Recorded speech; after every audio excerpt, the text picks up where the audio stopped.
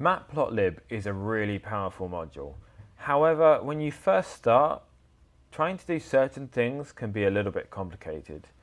We've written this cell below for you, and what it's doing is it creates a scatter plot between two of the variables in our dataset and uses a different colour for each species.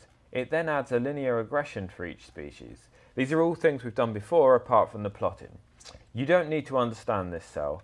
What you need to see is that it takes us 44 lines to import our modules, create our figure, uh, analyze our data, add annotations to the figure, and then finally save it. And if I run this cell, I get a nice plot.